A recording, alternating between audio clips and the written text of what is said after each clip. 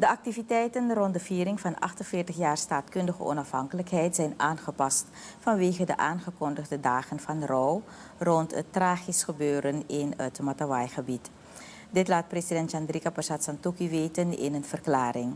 Het staatshoofd zegt dat Suriname met het verlies van de 15 mannen in Klein Saramaka een moeilijke tijd doormaakt. De regering gaat er alles aan doen om de samenleving bij te staan in deze periode. Laten we samenwerken om elkaar te helpen, Lobby Brother Sisa. Laten we samen een bron van kracht en troost zijn voor degenen die het nu het hardst nodig hebben.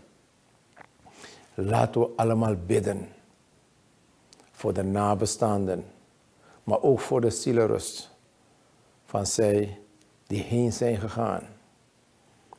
En ik doe een beroep op u allen, Lobby Bradanga Sisa. Laten we als gemeenschap met lobby elkaar omarmen en troosten. Dat we samen door deze moeilijke periode heen zullen komen. De president roept de gemeenschap op om voor elkaar te bidden. Het clusterteam dat is samengesteld voor deze ramp gaat door met hulpverlening.